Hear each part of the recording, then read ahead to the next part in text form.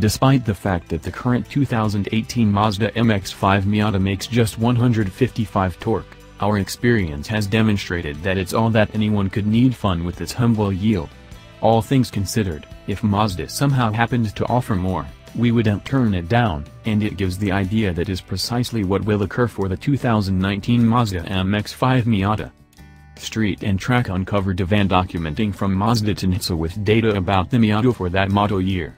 On one of the pages, it expresses that the 2019 Miata will have a 2.0-liter 4-barrel making 181 net brake strength. That is a quite enormous hop from 155 drive, almost coordinating the bigger 2.5-liter motor in the Mazda 3 and Mazda 6. It's additionally close in energy to the appraisals for the Skyactiv X start-controlled pressure start motor.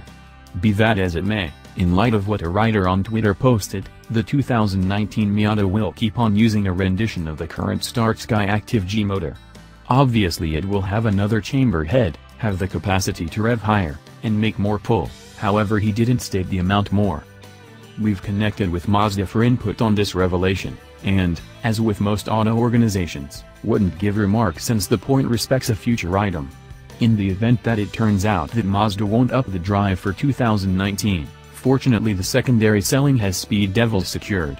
Flyin' Miata offers a bundle that incorporates camshafts, deplete and a tune that will bring it up to around 200 horsepower. There's a supercharger unit from Edelbrock that will give comparable power, yet without the requirement for delving into the motor.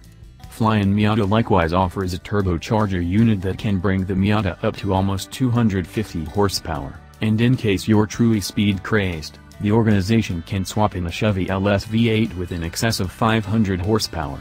Or then again, you know, you could simply be content with 155.